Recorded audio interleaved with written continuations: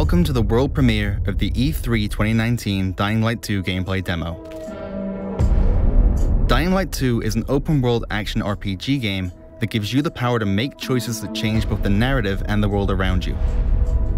The mission we're about to see is crucial for the narrative. The city is on the brink of destruction, as drinking water is just about to end. Our guide and friend, Frank, believes that the only person that can solve the drinking water problem is the Colonel, a man with a bad reputation, who leads a group called the Renegades from the city's pumping station. Frank uses his status to call a meeting between the Renegades and the officers from the two main factions that operate in the city.